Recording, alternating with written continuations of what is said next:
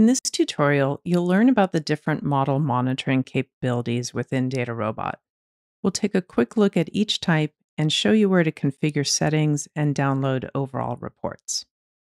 This overview session is important because DataRobot offers many types of monitoring. Not every deployment will use each type of monitoring. In fact, that would be very rare. So, in order to show you all the different types of monitoring, we will jump around across several example deployments. Let's begin with deployment reports.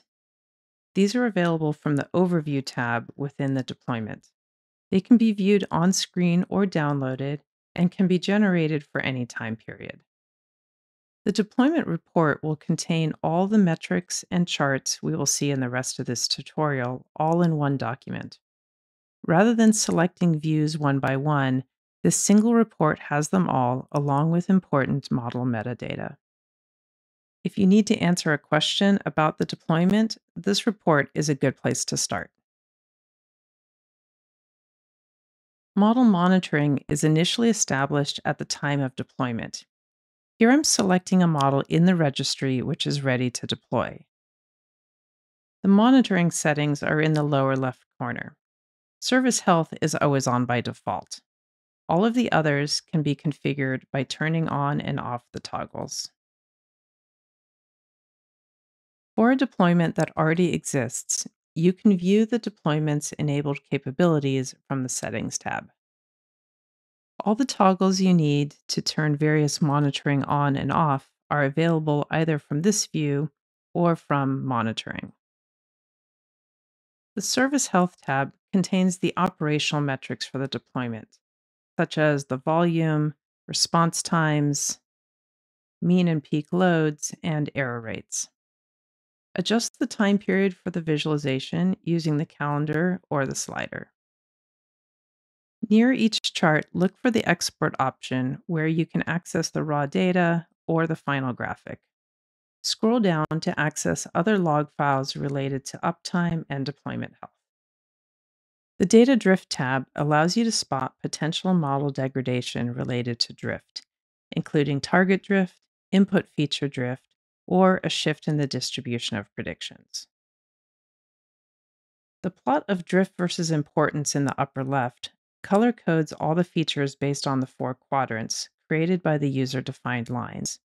These colors are also connected to the alerting and notification system. All the charts are dynamically linked and have a time selector available. To take full advantage of drift monitoring, use one or more segment attributes. This allows you to monitor drift at a more granular level, using any categorical variable in your data all the charts on the page update to isolate the selected segment. Importantly, DataRobot is able to track the drift of text features, which is becoming increasingly important in the age of large language models. The size of the word indicates how much it has drifted, and the color indicates whether it is more or less prevalent relative to model training. The Accuracy tab displays how correct the predictions are. Users must provide actuals, sometimes called ground truth, to be able to monitor accuracy. All of the data science metrics displayed here can be customized. This is another place where segmented analysis is very powerful to understand accuracy by segment.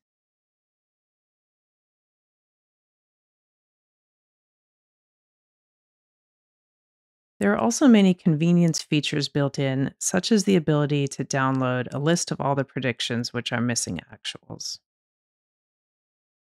Custom metrics is an extension of accuracy to track a deployment via user defined metrics. Use the custom metric workflow in the graphical user interface or the DataRobot API to do the one time setup. Then you'll be able to view the deployment's performance based on your custom metric. Fairness monitoring allows you to understand how the model has treated different groups. We offer eight different definitions of fair based on extensive research. Drill down into any one category to see the different levels. The fairness threshold is set by the user and is connected to the DataRobot alerting system. That concludes the overview of AI production monitoring capabilities. As stated previously, it's uncommon for one deployment to use all the different types of monitoring, but they're available if you need them.